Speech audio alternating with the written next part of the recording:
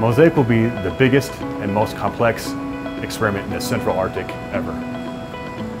We'll be making observations that cut across the full Arctic system, sampling the atmosphere, sampling the ice, sampling the ocean, and how they interact. We'll be on a German icebreaker frozen in the Arctic sea ice, and we'll have scientists from 17 nations engaged in a variety of scientific activities.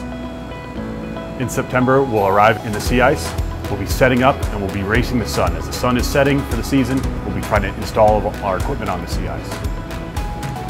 As the wintertime evolves, it'll be very dark, it'll be a challenge to make our measurements, but it's really important then because we have very few observations in the cold, dark winter season.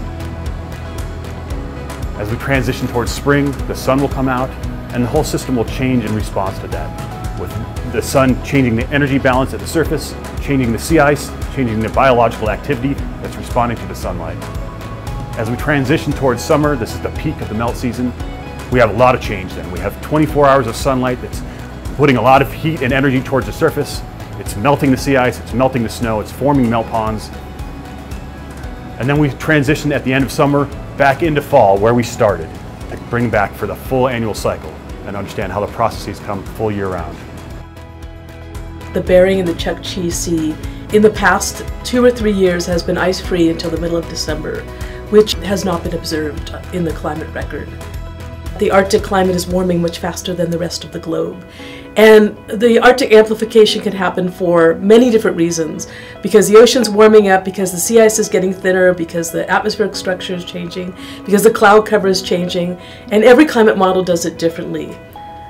And the data is very limited, even in the Chukchi and Bering Seas, where we do have a lot of shipping and transportation and fishing. We need to have detailed measurements of the fully coupled system. There was a similar campaign that happened about 20 years ago called SHEBA, and we learned things during SHEBA we had absolutely no anticipation of knowing, such as the fact that there was liquid in clouds at temperatures down to minus 40 degrees Celsius. So what I am mostly excited about is that we're going to learn things that we cannot anticipate at this time.